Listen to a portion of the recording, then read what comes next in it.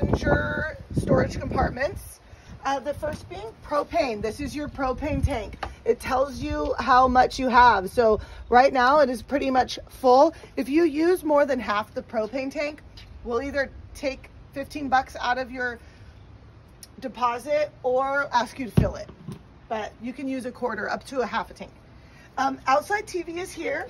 There's a plug here for the Roku and for the, this is the Roku, yeah, the Roku. And then we have um, a power strip here and we plug the Roku into this power strip.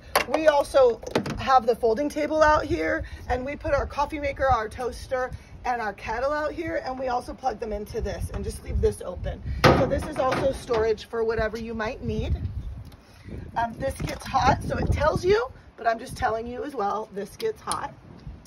As does this, because this is all a vent. This is a little storage compartment. I have some marshmallow poles or whatever you want to call them in here. Um, there's a little hammock and like a yoga mat. If you don't want that stuff in here when you take the rig, I can take it out for you. And then this is just another storage compartment. This is for a six foot picnic table. Um, it just protects the table and chairs. There's also a drain in here that you won't find yourself needing. You'll see two locks on the awning. One um, is so the awning doesn't open when you're driving. Believe it or not, it actually happens. And the other is so it doesn't open.